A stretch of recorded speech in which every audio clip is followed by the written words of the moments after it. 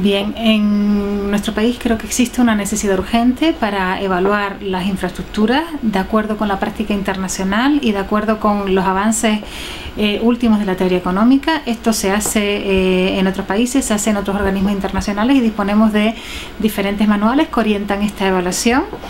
Existen manuales de la propia Unión Europea, del Banco Mundial, Banco, eh, del Banco Asiático, por ejemplo, o incluso eh, más recientemente un manual que se ha desarrollado mm, en un proyecto que se dirigía desde la Universidad de Las Palmas, un, manual para el, Ministerio de Transportes, el organismo el SEDES, que está eh, disponible en la web evaluaciondeproyectos.es. De acuerdo con esta metodología es posible determinar lo que gana y pierde la sociedad con un proyecto. Un proyecto de inversión, digamos, eh, en infraestructura de transporte como puede ser un aeropuerto.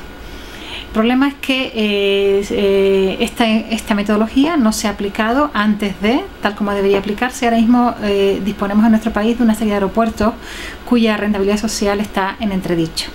¿Qué podemos hacer ahora mismo? Pues seguramente analizar caso, caso por caso y plantear para cada aeropuerto, para cada infraestructura de la que se trate, plantear si ganamos más o perdemos más manteniéndolos abiertos o cerrados y sobre todo teniendo en cuenta que los fondos públicos, que los recursos públicos tienen un importante costo de oportunidad y que cuando los aplicamos en alguna inversión estamos necesariamente renunciando a algo que puede ser más valioso, más útil para la sociedad.